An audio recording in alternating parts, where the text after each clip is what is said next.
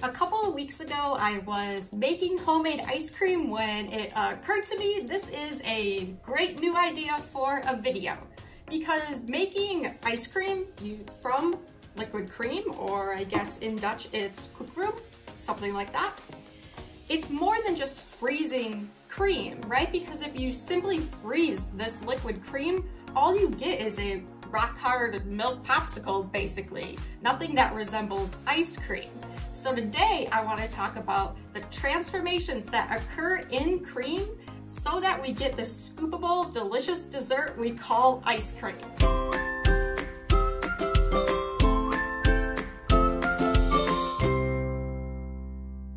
Know we start with cream, but to understand how we convert cream into ice cream, we have to take a much closer look at what we're starting with. And what I mean is we have to really zoom into cream and see what it is on a very tiny scale.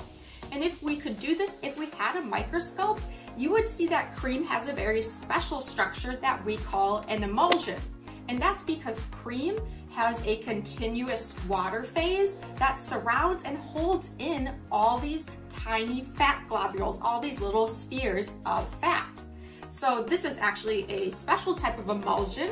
We would call this an oil in water emulsion because the fat or oil phase is dispersed as tiny droplets and those droplets are held within a watery continuous phase.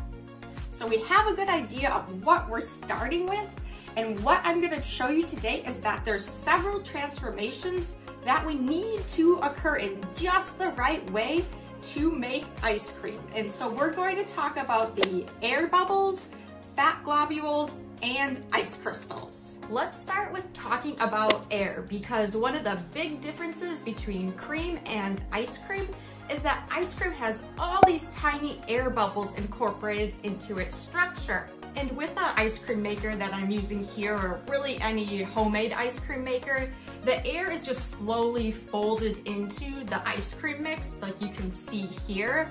Uh, if you were manufacturing ice cream, you would use a very different uh, way to add the air. You would probably just directly infuse air into the freezer. So inject a certain amount of air into the ice cream as it's freezing. So it might happen a bit faster. Uh, but like this, this freezer I'm using is pretty uh, simple. So it just slowly adds air. The air will break down into air bubbles because it's uh, being agitated and mixed. Uh, so you hope to get many tiny air cells and you can tell air is being successfully uh, incorporated because the volume will start very small and grow over time as those air bubbles are uh, included in the ice cream structure. So later in the freezing process here, my niece actually figured figured out I was in the kitchen and checked out what I was doing, but you can see the ice cream has a much larger volume now, and that's really due to all the air that has been slowly incorporated into the structure. Now, the reason we like to include all these tiny air bubbles is it gives uh, a very soft texture to the ice cream, or of course an airy texture to the ice cream but it also breaks up the matrix of the ice cream so that even when it's stored in under freezing conditions, we're able to scoop uh, the ice cream, right? It's not just a uh, frozen cream like we said earlier, which would be rock hard. It's these air bubbles that can allow us to really have a good scoopability of the ice cream, even if it's stored in your freezer at home. And when it comes to these air bubbles, the best strategy in ice cream is to try and get the smallest air bubbles possible. And the reason you want to start very small is that these air bubbles only grow over time. They get larger over time. And this is due to something called Ostwald ripening, which we'll also talk about when we talk about ice crystals. But uh, the theory behind Ostwald ripening is if we have very tiny, tiny air bubbles, these have a high surface area and they are less energetically favorable. So what happens over time is these small air cells disappear, but the larger air bubbles grow because these have a less, uh, lower relative amount of surface area. And we call this type of defect coarsening or the air cells get coarser and coarser until they eventually make tunnels or large air gaps in the ice cream. Okay, quick side note here, if you're enjoying this video on ice cream structure, I also have a video on butter structure, which is really interesting because like ice cream, for butter you start with cream, but you basically just shake the crap out of it until cream turns inside out. It is fascinating, check it out. The next transformation, let's talk about forming ice crystals because of course if we're going to make ice cream, we need ice. And so what happens as we are freezing that liquid cream, once the temperature is low enough, some of the liquid water will transform into ice. It will crystallize. So the one key thing we need to do with the ice is we want them to be very small crystals. We're talking ice crystals, you would probably want them smaller than 50 microns. So they're very tiny.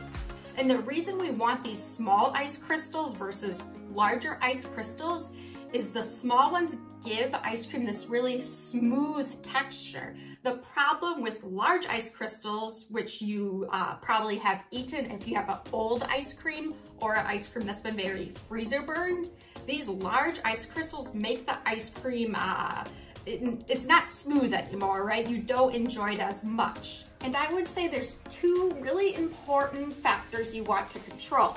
The first is you want to freeze ice cream at a very, very cold temperature, which that's probably obvious. But secondly, you want to make sure you have that dasher going around and scraping everything as you're making ice cream. And even in this homemade ice cream maker that I'm using, you can see it has a plastic dasher constantly going around and that dasher is scraping the sides of the ice cream machine, which are the coldest parts. So that's where we expect the ice crystals to start forming. And before they're allowed to grow too large, the dasher should be coming around again and scraping those ice crystals off. And this gives us many tiny crystals, which gives us a smooth texture, instead of just a couple really large crystals, which you're going to feel in your mouth as you ate that ice cream. So one of the goals of this freezing step is you wanna start with the tiniest ice crystals possible because as ice cream sits in a freezer or in your home, the ice crystals are only going to get bigger.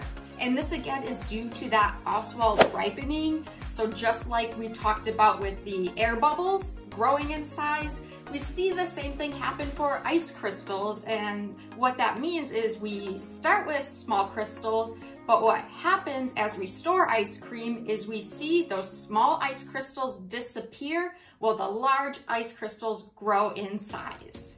And a quick reminder here, if you're enjoying this video, please press that thumbs up button so that it gets shared with more people. All right, now let's move on to the fat, which you may have heard me referring to as fat globules, which just means all the fat in ice cream or in cream is actually broken up into these tiny, tiny little spheres of fat. So they're like little globules, you would call them. And now what happens to fat in ice cream actually has a very special place in my heart because this is what I studied during my PhD.